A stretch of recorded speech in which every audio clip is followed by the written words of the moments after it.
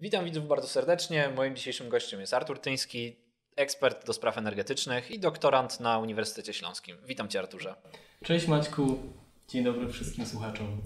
Na początku od razu chciałem Cię zapytać, jeżeli Polska miała być brać ropę nie z Rosji, to skąd? Jakie kierunki są dla nas najbardziej perspektywiczne?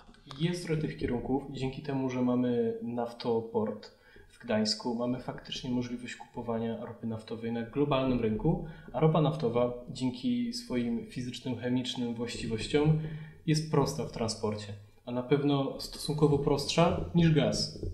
W związku z czym ten rynek jest naprawdę duży. Analitycy, zwłaszcza z Polskiego Instytutu Ekonomicznego, sugerują, e, aby Polska mogła kupować, czy generalnie państwa Europy, Europy Zachodniej, Europy Środkowej mogły kupować e, ropę naftową ze Stanów Zjednoczonych, Kanady, Kazachstanu, a dodatkowo istnieje możliwość przekierowania dostaw z Norwegii, Wielkiej Brytanii i Danii. Aby zobrazować e, naszym słuchaczom, o, jakich, o jakiej liczbie mówimy, w tym momencie z Rosji skupujemy około 3 miliony baryłek ropy naftowej dziennie. E, te państwa, import z tych państw, o których powiedziałem, czy przekierowanie dostaw, to już się powoli dzieje, daje nam możliwość e, zastąpienia 2,3 miliona baryłek e, ropy naftowej dziennie. Nie wspomniałeś o Arabii Saudyjskiej. To jest jakby kierunek, którego analitycy nie polecają? Nie, nie, Arabia też. Też, też jak, najbardziej. I tak. rozumiem, z tych wszystkich państw przede wszystkim te surowce będą transportowane drogą morską?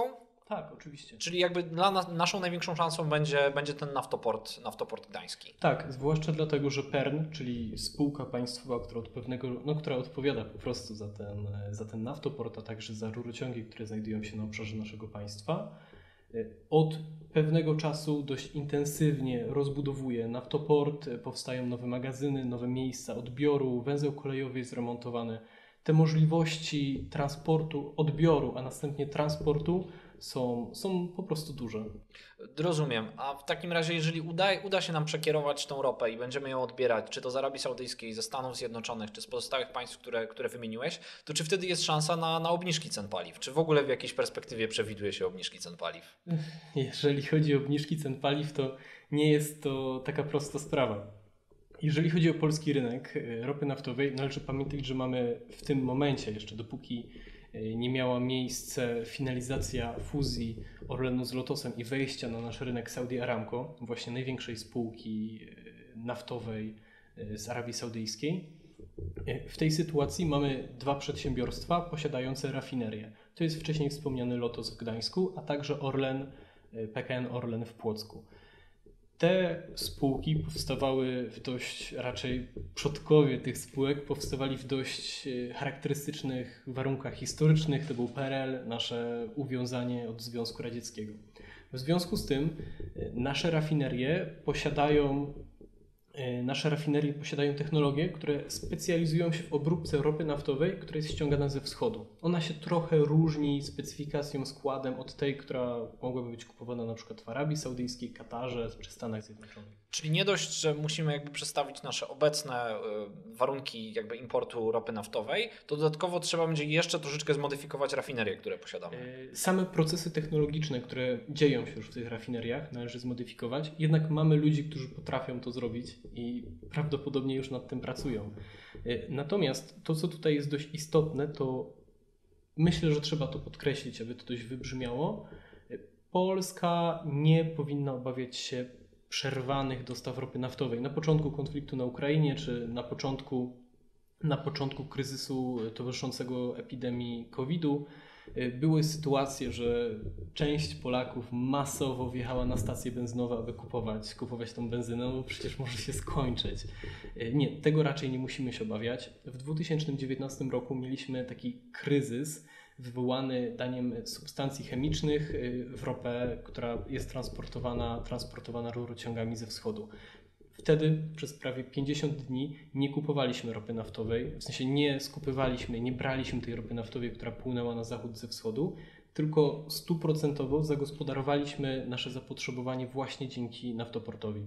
Od tego czasu naftoport jeszcze był rozwijany, unowocześniany, y, co powoduje, że utrzymujemy tą możliwość pełni wykorzystania naftoportu. W tym momencie warto powiedzieć, że wykorzystujemy go jedynie w 45%, ale możemy go wykorzystać, aby zapełnić nasze zapotrzebowanie. Ta liczba 50 dni, około 50 dni, które zostały już sprawdzone 2-3 lata temu, jest o tyle istotna, że większość państw e, Europy Zachodniej posiada w magazynach, w swoich zbiornikach ropę naftową na około miesiąc.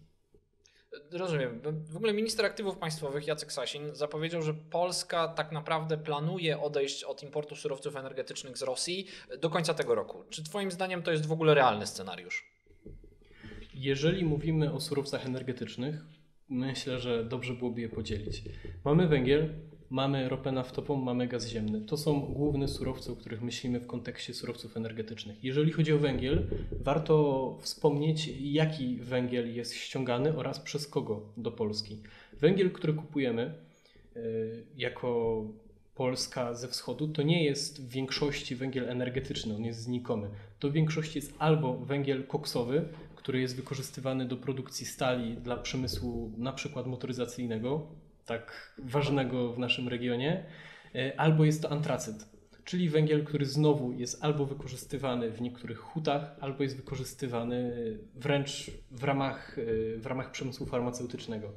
W Polsce mamy spółkę, która produkuje węgiel koksowy, to jest JSW. JSW już zapowiedziało zwiększenie produkcji swojego węgla, wydobycie w związku z tym kryzysem. Tutaj warto nadmienić, że jest to największa spółka zajmująca się wydobyciem węgla koksowniczego w Unii Europejskiej i ten węgiel, można powiedzieć, że jest dobrym węglem, bo wciąż znajduje się na liście surowców strategicznych dla Unii Europejskiej. Czyli ropę możemy ściągać tankowcami z państw, o których mówiliśmy. Tak. Ten węgiel jest szansa, że zapewni nam nasza, nasza wewnętrzna produkcja, głównie przez Jastrzębską, Jastrzębską Spółkę Węglową. Ale tutaj trzeba jeszcze dodać, że... Ale co z gazem? Czy to jest jakby trudniejsze dla nas zadanie, czy, czy też jakby ten e, terminal, terminal LNG w Świnoujściu rozwiązuje nam nasze problemy? E, terminal na pewno powoduje, że mamy o wiele prostszą sytuację niż chociażby Niemcy, natomiast nie rozwiązują wciąż naszych, naszych problemów. Nie jesteśmy w stanie od razu zamknąć kurka z gazem, który, który płynie ze wschodu, e, ponieważ nie mamy możliwości jeszcze pełnego zastąpienia tego gazu wschodniego. Jednak tutaj trzeba powiedzieć, że po pierwsze rozbudowujemy terminal LNG w Zatoce, znaczy no, w Świnoujściu. Do tego budujemy pływający terminal e, modułowy w Zatoce Gdańskiej i co najważniejsze, kończymy i to nawet przed czasem, w co jeszcze mało osób wierzyło rok temu, budowę Baltic Pipe, który powoduje, że ten gaz, że będziemy w stanie zagwarantować obecność całego gazu, który teraz płynie nas ze wschodu i wręcz nawet z małą górką, dzięki czemu będziemy mogli go sprzedawać, zwłaszcza Ukrainie. Czyli wszystko wskazuje na to, że idziemy, idziemy w dobrym kierunku, ale proszę powiedz mi, czy takie rzeczywiste, w 100% odcięcie się od, od rosyjskich surowców energetycznych wpłynie na koszty energii, ropy naftowej i tak dalej, produktów sprzedawanych w Polsce? Tak, niewątpliwie, ponieważ e, gaz, który płynie, który właśnie płynie dosłownie, gaz LNG, e, płynie z dalszych e, terenów. Pojawiają się kolejne opłaty na, w trakcie tego łańcucha dostaw. Trzeba go regazyfikować. To jest szereg kolejnych kosztów, które trzeba ponieść. W przypadku ropy naftowej, tak jak y, mówiłem, to są znowu inne mieszanki, inne kierunki. Zwiększają się koszty. Jak chodzi o węgiel, tutaj jeszcze warto dodać, że węgiel energetyczny możemy skupować chociażby z Australii, czy z RPA, czy z Brazylii. Jednak znowu, to jest węgiel, który musi do nas przepłynąć z dalszych odległości, więc niestety, ale koszty tego. Czy Polska w ogóle może podjąć taką jednostronną decyzję, to znaczy o embargu z importu rosyjskich, rosyjskich surowców, czy jednak w ramach Unii Europejskiej to musi być decyzja wspólnotowa? To musi być decyzja wspólnotowa. Doskonale ilustruje to przykład y, spółek y, państwowych odnośnie węgla. No bo właśnie, już po tak naprawdę 3-4 lata temu nasze spółki Skarbu Państwa z, najpierw zminimalizowały najbardziej jak się dało, a następnie wyłączały kolejne kontrakty, nie przedłużały ich na dostawy węgla ze wschodu. Ale cóż z tego, że robiły to spółki Skarbu Państwa, robiły to właśnie z pewnego kierunku politycznego, skoro osoby fizyczne czy przedsiębiorcy wciąż mogli użytkować ten węgiel. I węgiel energetyczny ściągany ze wschodu jest użytkowany przede wszystkim przez osoby prywatne którym państwo nie może tego zabronić. A czemu nie może zabronić? Bo jesteśmy w Unii Europejskiej i obowiązują nas z traktatów unijnych pewne przepisy związane z Unią Celną. No ale w tym przypadku już mamy wolę polityczną na poziomie Komisji Europejskiej, aby dać embargo y, na węgiel. Jednak nie ma już tej woli, jeżeli chodzi o ropę naftową i o gaz, a to one odpowiadają za jedną trzecią budżetu Federacji Rosyjskiej.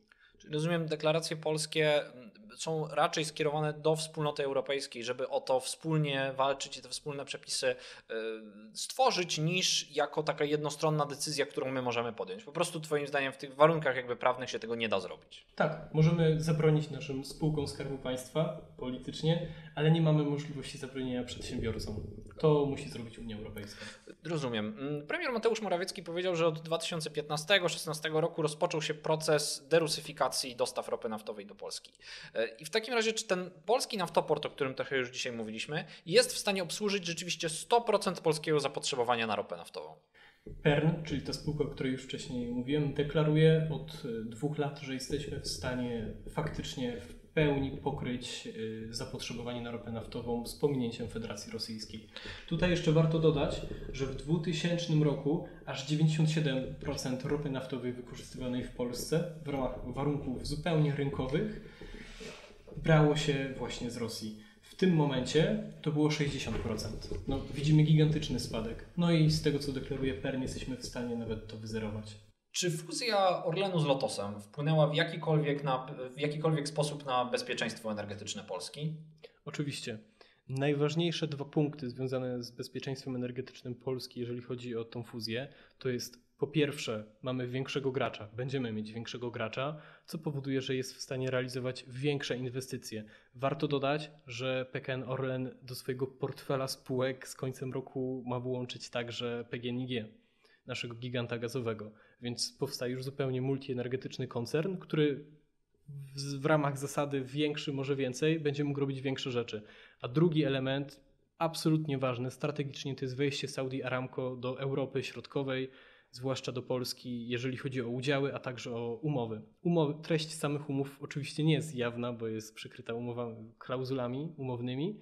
Natomiast z tego, co mówi środowisko, wiąże się to z dość dobrymi dla Polski y, wolumenami ropy naftowej właśnie z Arabii Saudyjskiej.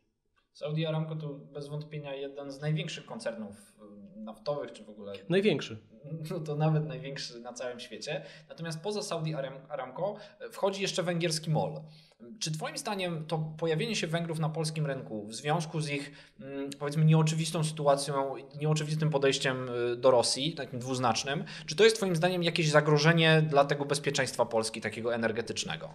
Myślę, że w kontekście bezpieczeństwa energetycznego zupełnie to nie wpływa, ponieważ MOL będzie zmuszony przez całą infrastrukturę, która jest obecna w Polsce i tak kupować ropę naftową robioną w polskich, no a częściowo także od Saudi Aramco, y, rafineriach Jednakże już co zrobią sami Polacy, myślę, że to będą decyzje konsumenckie. Czyli w takim wypadku Węgrzy nie dość, że będą musieli i tak dostosować się do tej ropy, która, która będzie lądowała w polskim naftoporcie, to jeszcze będą musieli przekonać polskich konsumentów, że nie należy ich bojkotować i w ogóle tamtą, tamtą benzynę kupować. Tak.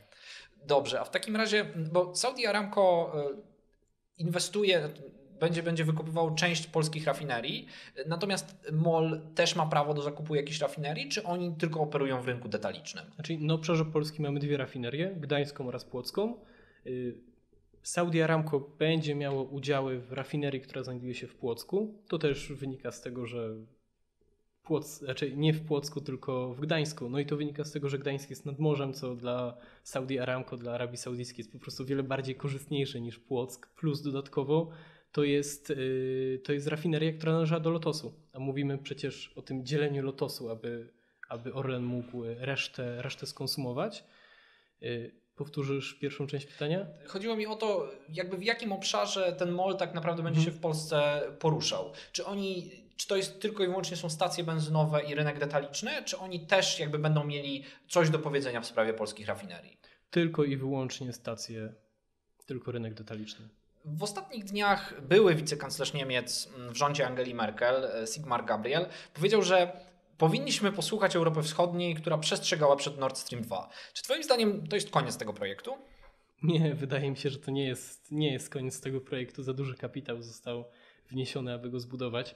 Zwłaszcza, że poza Nord Stream 2, nawet jeżeli ten projekt zostałby zamrożony, słyszeliśmy wszyscy o tym, że spółka, która miała go obsługiwać, upadła to wciąż mamy Nord Stream 1, który działa jak najbardziej. Wręcz od początku wojny, zwłaszcza w przeciągu pierwszych 10 dni wojny pomiędzy Rosją a Ukrainą, ilość, wolumen e, gazu, który był kupowany przez zachodnich Europejczyków, wzrósł e, bodajże o 20%. O 20%.